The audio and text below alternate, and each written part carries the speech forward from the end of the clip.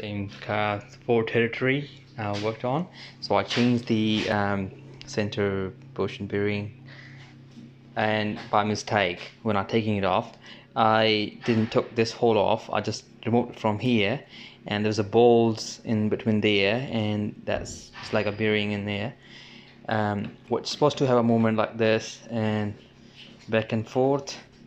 But I put it the wrong way and there was no movement at all and it wasn't going back and forth. And I put it on the vehicle and it started vibrating when I was driving it on the road and it was vibrating very badly.